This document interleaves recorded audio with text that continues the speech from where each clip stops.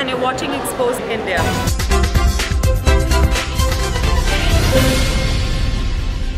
गोरखनाथ मंदिर में भगवान श्री कृष्ण की जन्माष्टमी परंपरागत रूप से मनाई गई।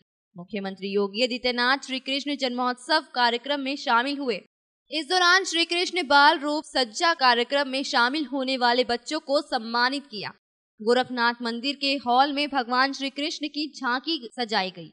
साथ ही भजन कीर्तन का भी आयोजन किया गया। जिसमें एक से पाँच वर्ष और पाँच से दस वर्ष तक के बच्चे भगवान श्री कृष्ण और राधा की वेशभूषा में शामिल हुए।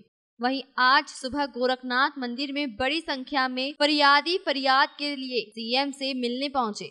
लेकिन पिछली बार की तरह इस बार भी सीएम नहीं मिले और उनकी जगह ओएसडी ने उनकी फरियाद सुनी।